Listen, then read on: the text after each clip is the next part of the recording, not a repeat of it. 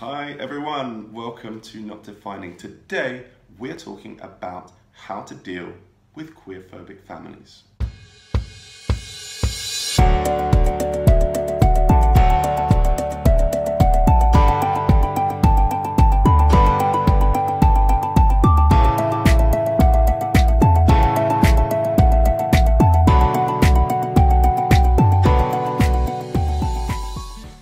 Hello, wonderful people. Thank you for tuning in. It's Mark here from Not Defining, and we are talking about how to deal with those bigoted, queerphobic families. As always, if you like what you hear, please hit subscribe.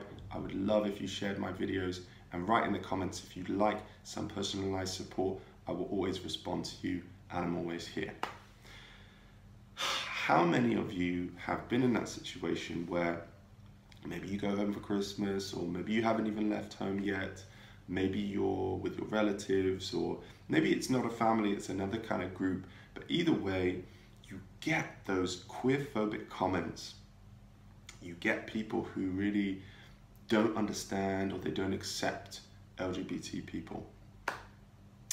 How do we deal with this? Because you know, we love these people often. You know, we don't want to cause friction and everything. And sometimes the comments are cloaked in kind of passive aggressive or, oh no, I didn't say that. Oh no, I, I accept everything. And it's just that this and just that. You know, it can be very, very subtle. So, how do we deal with this and reduce the level of anxiety that we have to experience? So, here's what I've learned there is a difference between convincing and influencing. Okay? Convincing somebody is trying to change what they think. And this is pretty, pretty difficult um, because most of the time people think what they think. And naturally, as humans, we don't tend to respond well to people telling us what to think or telling us what to do. It just doesn't work like that. Particularly when it is kind of moral opinions, maybe religious opinions, maybe political opinions, things which are kind of important to us. Um, people don't really like to be told so that's why the first thing we often try and do is convince. Yeah, if someone has a queerphobic view, we'll say, oh no, but actually, you know, that's wrong because X, Y, Z.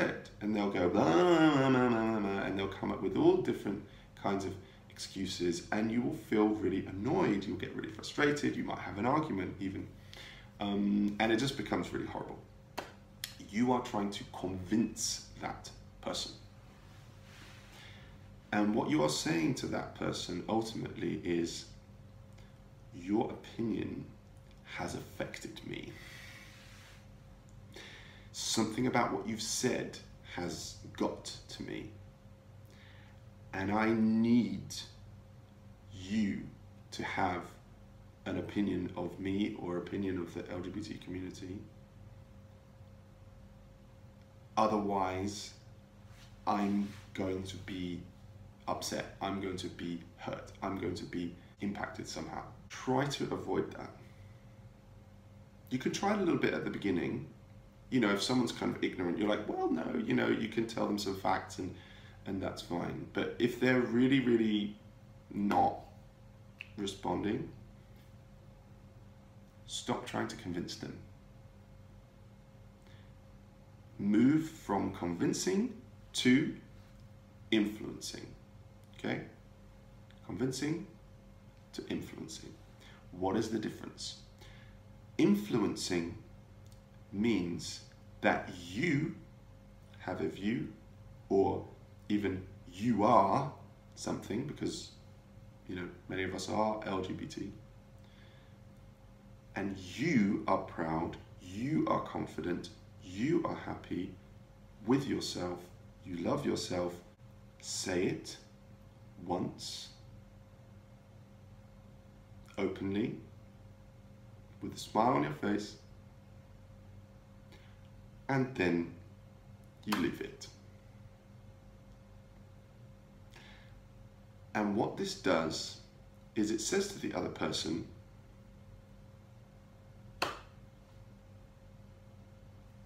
what you're saying can't hurt me. What you're saying doesn't mean anything to me. I am so confident and so happy in who I am and what I feel. You're entitled to your view. No worries. It's just, I don't agree, not for me. And what will often happen is that that person will feel a little bit silly. Because when you are truly confident, that speaks power. That speaks louder than words. People who try and convince other people and control what they're thinking sometimes are not quite confident in what they're really thinking. Um, if you think about anyone who you've been influenced by or impacted by or inspired by, um, it's normally because they've done something or they've been something, right?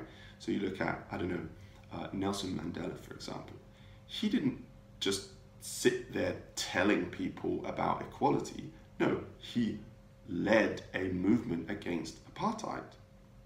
He did something and he is renowned across the world for having influenced and impacted millions of people, right?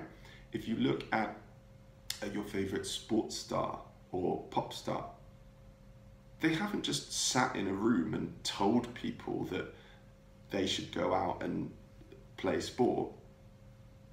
Why are you going to listen to some random person telling you that you should go out and play sport or telling you you should go and uh, sing? No. They went out and they played sport and they made music. And you are inspired by them because, wow, look what they've done. Look what they've done. Look at who they are. They're out there. They don't care what anyone thinks of them. But everyone looks up to them because they're fantastic. And there'll be some people who don't like them, and there'll be a lot of people who do. It doesn't matter. You are owning your own life and you are influencing people by who you are.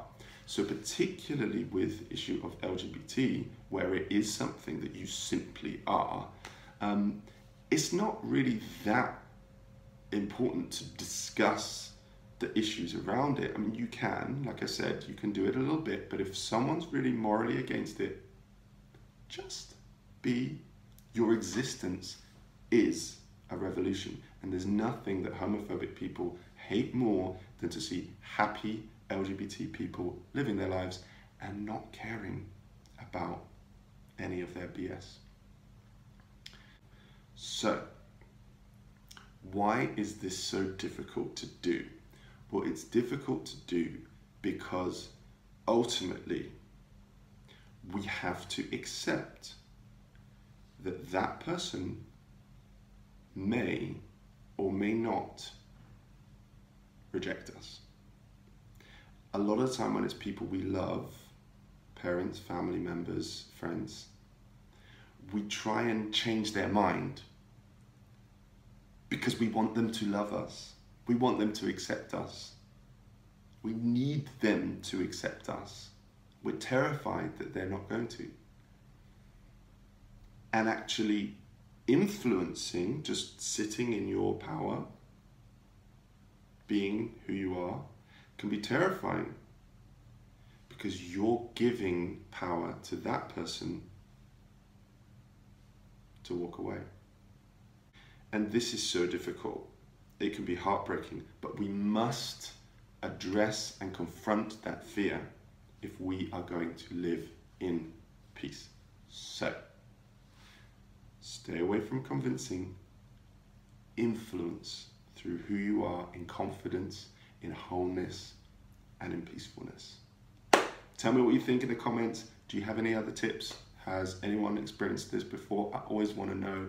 And please hit subscribe so that you never miss one of our videos. Thanks so much for listening and bye for now.